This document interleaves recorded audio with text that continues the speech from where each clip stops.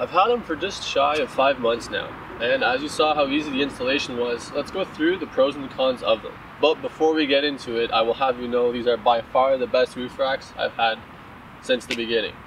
That being said, I've only had two others, but in comparison to my friend that has a hitch mount, it's about just as fast. So what I've got on here now is my mountain bike or enduro bike, which has the longest wheelbase that I have available to me directly. And this is really going to answer one of the questions that was brought up in the comments, which is really, can I open my trunk fully with a bike on the back? So here it is with, again, the longest wheelbase I have. And the trunk will open, no problem. And in fact, I still have clearance. The other one that was brought up is one I was honestly thinking of as well initially is whether or not it makes sense to be driving around without a bike on them in terms of really a few things, just the airflow of it as well as what they brought up is when they're lying there on their own, and do they bounce around? So as far as stability goes when they're resting without a bike, the one that I debated to leave it as when driving was like that. Now, with that said, it's kind of redundant because it makes your car pretty loud. At least I found it did. It wasn't all that silent, but it did work in terms of making sure that it was all rigid.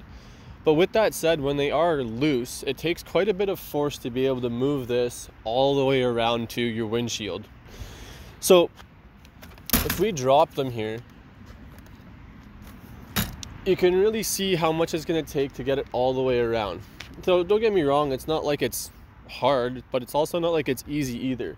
The force to get it up to here on its own, with it, not like ignoring my reach really, would be you'd have to brake pretty hard for it to actually actuate much past even that. And to put it in perspective, I had left it on and driven around a few turns and stopped pretty hard in some cases just to see really how much it would actuate, and they stayed silent. There wasn't any bumping that I heard on the roof.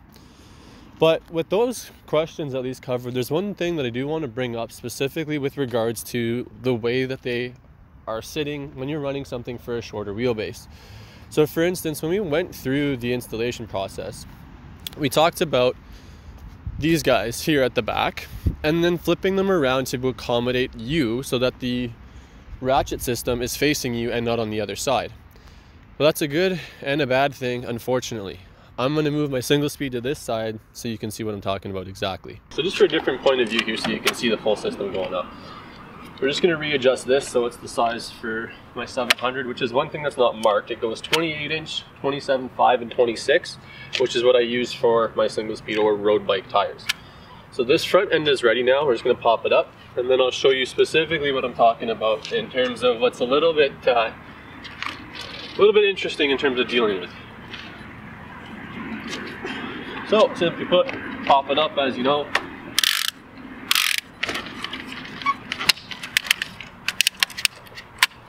That's on there, no problem, okay? So it's the back where it gets a little different. So we're gonna jump you guys all the way into here so you can see exactly what I'm talking about. So for me right now, right where my bar is, is really where my rear wheel wants to rest, right? So it's just past it. Just past the bar. Now, in terms of getting this to fit, I bring it up. The wheel's resting in there just fine, but look exactly where that ratchet is now. Now it's right on the bar. And so this is where it becomes a little different. It just depends what your bar spacing is.